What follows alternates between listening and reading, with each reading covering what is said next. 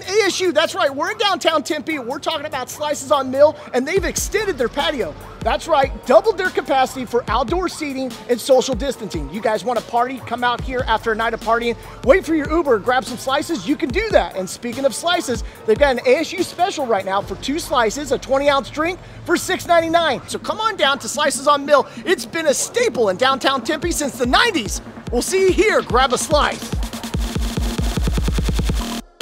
world is